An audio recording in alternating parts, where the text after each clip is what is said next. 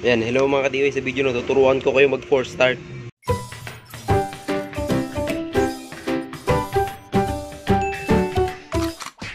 Yan, ang pag force start, maglalagay lang ng 100k.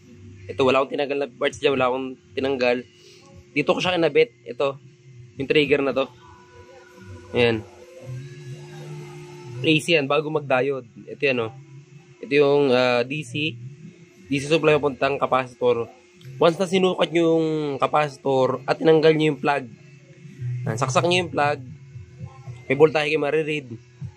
Pag tinanggal nyo yung plug, may mariread pa kayo dyan. Ibig sabihin, hindi gumagana yung ah, power supply. Kahit i-check nyo yung mga ah, pyesa niya, puro buo lahat. Ang, ang problema niya, yung trigger. Ito, yung AC trigger, ito yan, oh. Nakakabit siya dito sa AC natin. Tapos gumanon. Yan, nag, nag-jumper lang ako. Ito, papunta dito. Dumaan sa resistor na to. Buo tong resistor na to. Walang nagbago. Pinuwersa lang natin siya. Kinabitan natin, tinap, ah, tinapang ko siya ng 100k resistor. Ayan o. Ayun yung may start ngayon, umaandar na siya. Yan, force, force start. Yan. Pinersa natin yung trigger niya. Yan, okay na siya. Yan, at tinesting ko na rin siya kanina ng matagal, okay na rin siya. Kaya i-fix ko na yan. Hindi ko na tatanggalin yung resistor na yan. Kasi once na tinanggal ko siya, hindi siya umaandar. Yan. Hindi, hindi siya umaandar. I-fix ko na yan mamaya. Aayusin ko na yung pagkalagay. Kasi tinesting ko lang talaga siya eh.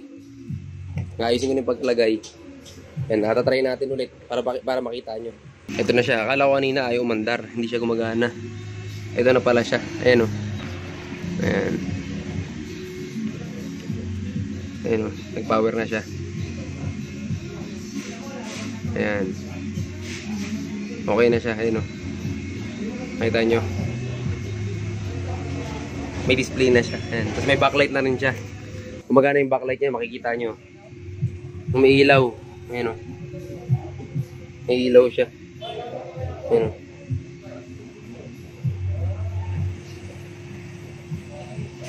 Ayan. Okay na po yan.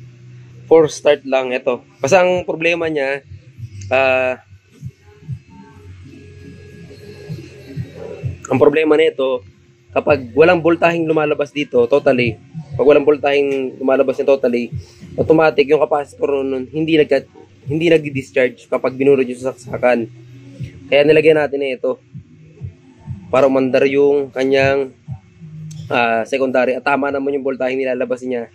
Ngayon naman kapag kapag ah, mababa yung voltahe, ayan, ah, magfo-focus tayo dito. Ayan, itong part na to. Ayan, secondary niya pabalik dito. Ayan, okay na po siya. Kaya sasarado na natin. Yung ginawa natin, fix na natin yung resistor dyan. Hindi ko na tatanggalin yan. Ayan, okay lang yan. 1/4 watts, 1/4 watts siya na 100k. 100 kilo ohms. Ayan. At dito siya nakakabit pag ano. Tapos papunta dito sa IC na to. Ayan. Para mag-oscillate siya. Ito yung ah, ano, trigger. Para mag-oscillate yung IC na to. Para gumana to. Ayan. Ito kasi nagbibigay ng signal. Itong IC na to. Ito nagbibigay ng signal dito. Para gumana siya. Ayan. Ayan, ito na po siya. Okay na po yung ginagawa natin. Ayan. Natin.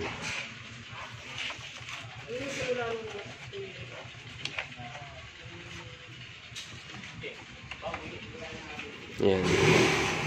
Okay na siya. Ano. Wala yung remote. Hindi natin nakuha sa may-ari yung remote. Kaya hindi natin matesting yung ano niya. Naka ano to, naka TV Plus.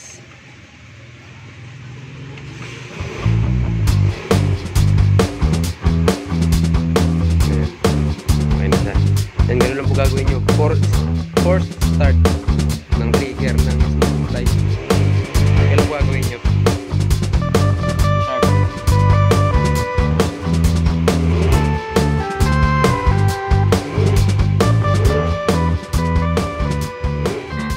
Meron ba kayong gustong topic para sa susunod na video? Mag-comment na! Huwag nyo kalimutan mag-like and subscribe!